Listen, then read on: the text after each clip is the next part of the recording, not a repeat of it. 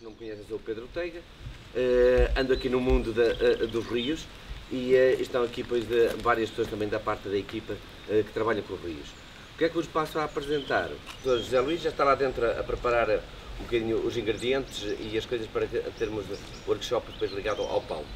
O que é que nós temos previsto? É essencialmente hoje da parte da, da manhã termos exatamente esse workshop, colocamos o, o, o forno, colocamos todo o, o, sistema em funcionamento e depois também vos apresentar, depois mais em detalhe, algumas das ideias e do projeto que está aqui eh, para ser desenvolvido. A maior parte das pessoas já está a colaborar e aqui a fazer um, ehm, e nada melhor do que uma, um dia informal, logo a, a, seguir ao Dia Nacional da Água, para nós podermos dar um início a, a este tipo de, de atividades, umas podem ser informais, outras podem ser formais, em termos de espaço. Temos uma primeira eh, etapa que é este edifício, que é a própria a Casa dos Rios. Depois vamos ter a segunda parte, que será a Escola dos Rios. E já temos a horta e já temos o rio, que é o mais importante eh, em termos de espaço. Em termos ecológicos, por um lado, está a acontecer coisas muito boas, em que eh, está a promover a biodiversidade e, eh, e, os espaços, mas se não levar um toquezinho e uma mão de, humana, eh, não é bem verdade. Aquilo que aparece nestes campos são invasoras exclusivamente invasoras e infestantes em muitos dos casos. Estes salgueiros que estão aqui dizemos, bem, não é bem verdade, estão aqui os salgueiros, foram plantados. Ah, também não é bem verdade, estão ali aquelas tabuas, foram plantadas. Ah, hum, os silvados, estão cá, em dominantes, foram cortados. Isto é, não é o corte frequente que costuma levar, tem um corte normalmente anual para ficar cheio de herbáceas, certo? Porque se não for assim, o que vai dominar aqui são a parte hum, eh, das infestantes e depois temos as canas, efetivamente é o grande problema que depois se pode eh, avançar aqui neste sistema. Basicamente as invasoras, a técnica é esta. Elas existem num, determinado lugar, depois ficam com tudo. Elas estão aqui e vão ocupar tudo para baixo. Isto era um antigo moinho e uh, de uma antiga quinta e que entretanto teve dois incêndios sucessivos e que queimaram e toda a estrutura que existia aqui. Viviam aqui cerca de 30 pessoas, só aqui neste edifício, por isso, quando se fala hoje em espaços, sustentabilidade, eficiências, eh, aqui utiliza-se isso tudo. Normalmente é aplicado muito esse conceito, é quando não se tem. Quando não se tem, não se usa. Mas aí chama-se pobreza e ausência. A questão é como é que nós vamos voltar para uma, uma situação de utilizar menos recursos, mas não por necessidade, mas por opção né? de utilizar alguma parte Nós temos aqui, em termos de espaço, não é propriamente estar aqui no, dentro do espaço, é também com a interligação com o espaço envolvente. Aqui tem um trilho para um carvalhal, o carvalhal não é público, é privado, mas está cá. E passa por um trilho que é público. Então há que evitar para as pessoas poderem usufruir de um pequeno caminhar e de, um poder estar. Hum, estamos na cidade do Porto, aqui, do lado de lá, é a cidade de, já o município de, de Gondomar, e a cidade de Valbom, eh, em termos de, eh, de espaço. Eh, temos aqui possibilidades já também testadas que é de pirilampos, de observação de, de, de, alguns equilíbrios e desequilíbrios também, observação de incêndios, por exemplo, também, não é só lá fora nas florestas que acontece, ainda apareceu aqui já um, incêndio que também que ocorreu, por isso estamos todos na complexidade de um território, do normal. Deste lado é a parte do, do nosso terreno e do nosso espaço, em que vai fazer depois a curva, que é que vamos fazer o workshop ali no, no, no espaço, no, no alpendre. Está tudo ainda em transformação em obras.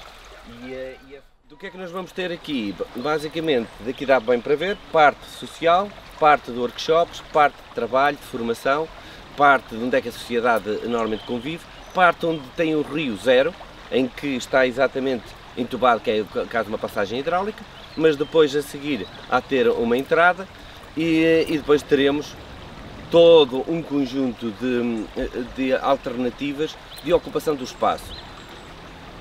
Reparem que é mesmo aqui na parte do rio, muito do que nós temos aqui desta vegetação, isto era literalmente um mar de silvas, um MS4, que era um mar de silvas com 4 metros de altura, os primeiros cortes que nós fizemos aqui neste espaço, entretanto foi-se começando a fazer a recuperação, os proprietários aqui à volta diziam que isto não dava para nada, que a terra estava toda completamente perdida e que não se ia conseguir fazer dela nada. Ok, estamos a fazer a recuperação, não tão rápido como gostaríamos, já, mas já deu para fazer aqui bons desafios. Ali com, com o José Letra, então eh, eh, temos feito aqui eh, este ano já algumas inovações, nomeadamente e com o professor José Luís também colocamos aqui feijão com milho, em, em simultâneo, eh, de fazermos algumas técnicas de permacultura, outras também tradicionais, em termos de utilização, mas vamos conviver aqui com a margem do rio, aqui em termos de, de espaço, e como é que nós vamos poder trabalhar com ela. Depois temos então a horta e teremos a parte florestal e do açude lá atrás, em que vão poder ver já o arranque do açude da água que vai pôr para os moinhos a funcionar e todo, todo este sistema. Então estão uma vista de olhos aqui. E...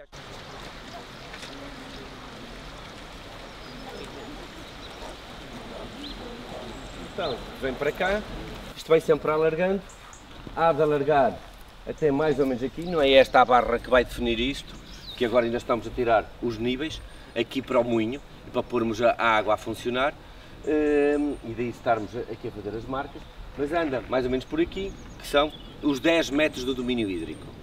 Então, como é que se faz a preservação do domínio hídrico em espaço contexto urbano? O que é que nós vamos estar a ter deste lado? O que é que se faz em preservação do contexto do domínio hídrico em espaço agrícola? E depois vamos ter também o que é que se pode fazer em termos de preservação e conservação eh, na parte do, eh, do espaço florestal. Nem tudo tem que ser feito automático. Eh, por exemplo, a plantação desses sanguinhos não foram plantados aqui, foi regeneração local, natural, no entanto, foi a partir do momento que os vimos, foram preservados.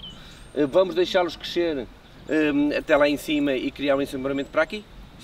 Já são opções de manutenção no, do próprio espaço. No domínio desculpa, é do rio para cá 10 metros. 10 é? metros. Mais 5, ainda de medir, é chegar aqui, estou aqui mais ou menos no muro, tem 1 um metro, ok? 2, 3, 4, 5. Estou a meio, certo? 1, 2, 3, 4, 5.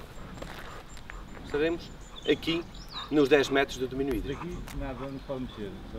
Pode-se mexer, pode fazer tudo. Por lei não há nada que não se possa fazer. Agora, há é um conceito que é, não se pode degradar o rio. Por isso, tudo o que se fizer aqui tem que estar a contribuir para a preservação do rio. grandes aí podia cortar ou não pode também? Pode cortar, pode cortar só que tem que ter uma autorização expressa ah. da, da APA. Eu dizia que havia aqui 30 famílias Reparem que esta, este compartimento aqui era para uma família e chegava. E tinha aqui a chaminé, a cozinha, parte do quarto e a parte das pessoas poderem estar. Casas de banho uh, da parte exterior, tinha mais um alpendre para a parte exterior, e noutros casos ali mesmo da parte de fora e rio diretamente. Uh, as pessoas saíram daqui, quando o Valentim Loureiro entrou para o Presidente da Câmara, que uma das promessas dele foi tirar as pessoas daqui e realojá-las uh, depois na cidade em, em, habitações próprias de habitação social. Uh, algumas pessoas ficaram contentes, ou melhor, todas as pessoas ficaram contentes inicialmente, algumas ficaram tristes porque viram que melhoraram a qualidade de vida, mas depois a qualidade comunitária uh, que se desapareceu e se destruiu uh, este efeito que tinham aqui. De partilha. Moinho, não temos a datação ainda, temos o arquiteto Bruno a fazer o, o, o, estudo e para tentarmos perceber a história deste moinho e termos uma maquete dele à história do passado. O que vamos ter aqui no futuro não será nada disso e que temos previsto, uh, vai ser a reabilitação deste moinho. Vai ter uma parte histórica, como ele funcionava, rodízio, madeira, em termos de funcionamento. Vai ter uma parte moderna, que é se fizéssemos os rodízios, que materiais é que utilizaríamos e como é que os constru íamos construir. E este aqui será para colocar uma mini hídrica, ou um mini hídrica, não sei se terá esse o termo, mini produção de eletricidade com a água sobrante deste sistema. Ali para pão, aqui para eletricidade em termos de trabalho. Ehm, pronto, para dentro estamos a, a, reformular exatamente todo o espaço, mas aqui para dentro, estão a ver aqui onde é que está o meu dedo, o piso ali de cima está mais ou menos aqui, que é a altura que está daquele lado, e é a altura que nós andamos aqui dentro destes buracos, porque tem canaletes uh, medievais ou tipo romanos, que andamos ali por dentro e que conseguimos uh, observar. Uh, isto tem sido uma descoberta, porque estava tudo aqui cá para dentro, árvores, caídas, incêndios, já saíram daqui várias camadas de, de entulho, daqui também várias camadas de entulho, e são mesmo camadas, um, e agora é, vai-se descobrindo e vai-se pondo, nomeadamente o arquiteto inicialmente tínhamos uma perspectiva da casa completamente diferente da que temos agora, em termos de espaço. Aqui serão os escritórios, será depois aqui o espaço de, eh, de trabalho da equipa, será depois a partir daqui que se vai ter a Escola dos Rios em termos de trabalho. Mas para conhecer e formar, acho que estamos todos sempre a aprender, não é? Por isso, de uma forma muito informal, hoje não temos aqui grandes protocolos nem grandes de trabalhos, é mesmo um encontro de família e é juntar dois grupos de, de família eh, que, que, se pretende. Vocês, de, por um lado, de, uh, do, dos amigos do, do José Luís eh, e nós eh, também, por, um, por outro lado, para a equipa também se poder encontrar.